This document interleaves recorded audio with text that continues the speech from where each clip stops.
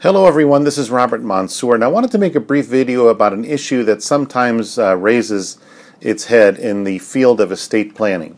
One of the tools that I help clients with is something called an Advance Healthcare Directive. An Advance Healthcare Directive is part of the estate planning legal toolbox, as I call it. And a healthcare directive is where you name someone, called your agent, to be your healthcare advocate. So they're not only the person who decides, you know, pull the plug and all the uh, cliches that go with that. It's more, this person is going to be my legal advocate. This is the person who's going to make sure that I'm taken care of properly. This is the person who has the legal authority to talk to healthcare professionals, to make decisions on my behalf, etc. So it is a very important tool. Now, when you walk into some hospitals and some some settings like that, sometimes what they do is they give you a form to fill out right when you walk in, and they'll say, "Oh, do you have a healthcare directive with you?" And you'll say, "Oh, no, I don't." And they say, "Well, here, sign this," and they give you their own healthcare directive.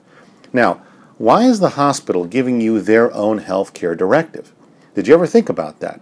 Is it to protect you, or perhaps to protect the hospital? Now, of course, there is some good measure to have one especially if you don't have one at all. You might want to fill out the one that the hospital gives you at the very least. But generally speaking, that hospital form that they give you is not effective immediately. It is effective only upon the declaration of your incapacity by a physician, or perhaps two physicians, or I've seen even three physicians.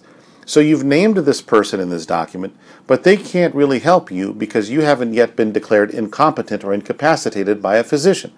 So they can't really be your advocate. They don't have any legal authority to do anything until that happens. Now, you might be saying, well, I don't, why would I want them to help me? There's many times when you need a healthcare advocate and you have capacity. You're fine. But you need somebody else to have that power to act on your behalf. So that's one limitation of some of the forms that I see hospitals have people sign.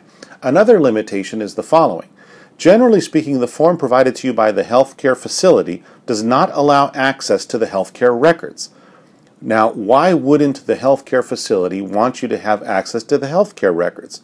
Well, it's very plain and simple. They don't want your family looking at those healthcare records. They don't want your agent to have access to those healthcare records because they don't want anybody questioning or reviewing anything that they did at the hospital or uh, other healthcare facility. So generally speaking, you want to make sure that the healthcare you the healthcare directive you have not only authorizes that person to act on your behalf, but also allows them access to the medical records. And the form that you sign at the hospital invariably will not allow that to happen. So be very careful about the forms that you sign when you're in that kind of context. If you have a healthcare directive already that allows for those things, you might say, "Oh no, that thank you very much. I already have a healthcare directive," and then make sure your agent brings it to the hospital. Thank you very much for watching this video. I hope you found it helpful.